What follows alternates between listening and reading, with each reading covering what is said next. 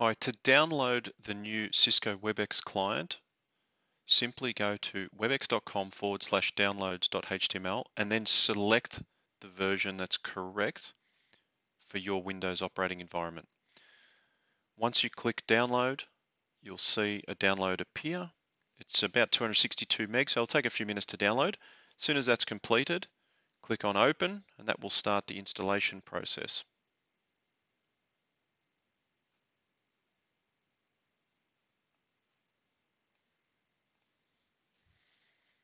Follow the wizard and I'll just show you uh, the steps you need to do to, to set up.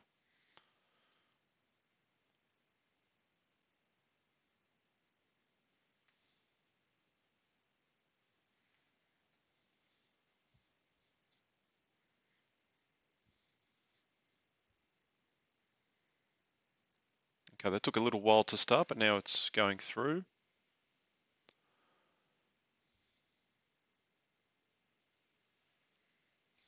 It's quite a large app. It also works on your mobile.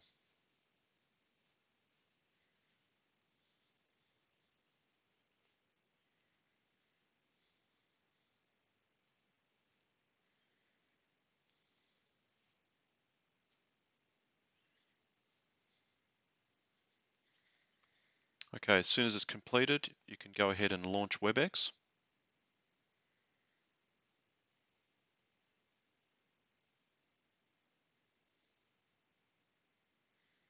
Okay, you need to accept the end user license agreement.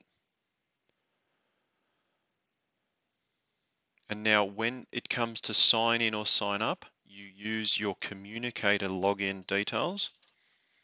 So mine is this.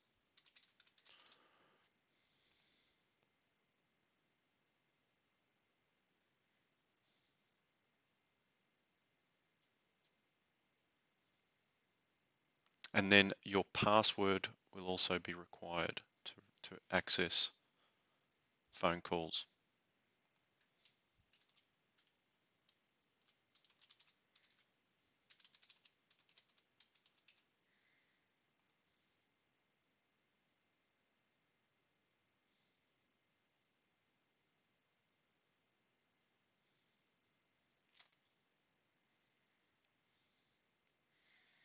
You'll get a welcome message showing that it's been successful.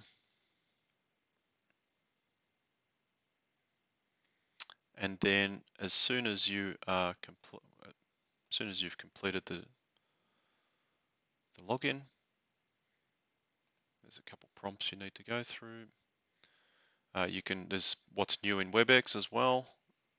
However, you'll now see your calls appear uh, you can see if you have any voicemails, if you have voicemail on your phone active, you can see your dial pad by clicking here. So that's your simple to use dial pad. And call settings can be seen through this interf interface. So very simply, you can open your call preferences.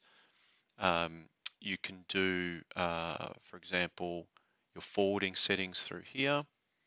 Okay, forward to voicemail, um, or you can add specific forwarding. So if you want to forward calls to your mobile, simply type that in there, okay?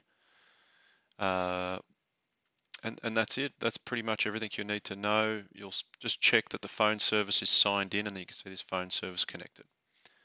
And if you, uh, whatever, whatever you had on the old communicator app will follow you across to Cisco WebEx. So whether that's call queues or different hunt groups, um, or whether you had different privileges in the hubs, that will come across uh, exactly. Thank you and hope that uh, makes it easy for you to start using the new Cisco WebEx app.